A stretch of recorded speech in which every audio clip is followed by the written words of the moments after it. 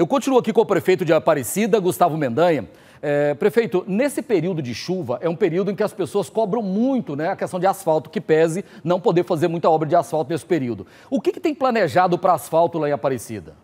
Ô Loares, nós estamos finalizando um processo lá junto ao Senado Federal, aprovado já pela Câmara Municipal, pelo COFIEX, dentro do Ministério da Economia.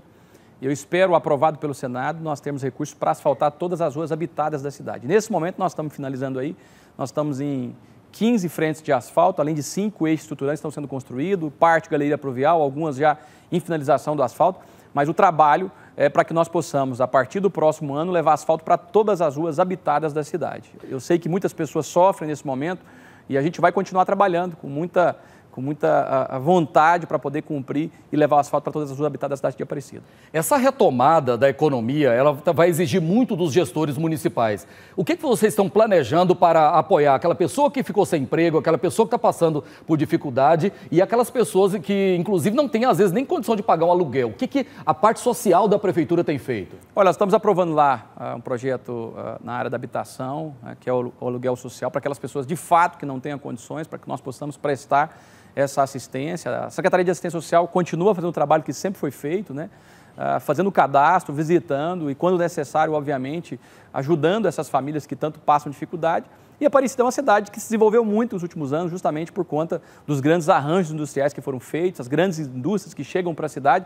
A partir daí, um ciclo virtuoso. Uma grande indústria, uh, um grande negócio que se abre na cidade, acaba que essas pessoas consomem no mercado local. Vou dar, por exemplo, aqui um exemplo. O nosso aeroporto executivo, né, que é uma unidade privada, mas que contou com a parceria da Prefeitura Municipal, nos próximos 20 anos serão mais de 5 mil postos de empregos diretos e indiretos que serão gerados, está lá na região leste, inclusive. Então a gente vai continuar trabalhando para oportunizar para as grandes empresas, para os pequenos negócios, poder fazer seu investimento e, obviamente, crescer e junto à cidade cresce com, com essas Prefeito, para a gente encerrar, o que, que os moradores de Aparecida podem esperar para o ano que vem? Olha, muito trabalho, muita dedicação, carinho que nós sempre tivemos, principalmente com as pessoas mais humildes, mais carentes.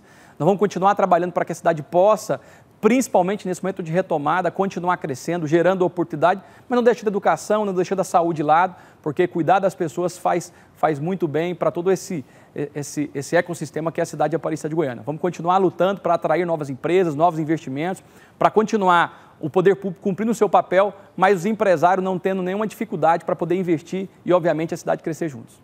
Prefeito Gustavo Mendanha, prefeito de Aparecida, obrigado aqui pela participação. Né? Bom trabalho para vocês lá. Ô, eu agradeço a oportunidade, aproveitar aqui já chegando um período natalino, desejar um Feliz Natal, um próspero ano novo. Não sei se vou ter a oportunidade de voltar aqui. E agradecer à TV Record, enfim, que faz um grande trabalho. O Balanço Geral que atende tantas famílias do estado de Goiás e que também tem dado uma assistência ali para as pessoas de Aparecida. Parabéns a todos, parabéns ao nosso diretor uh, Josimar e todos que compõem a brilhante equipe da Record aqui em Estado de Goiás. Muito obrigado. Obrigado, prefeito. Um abraço. Viu?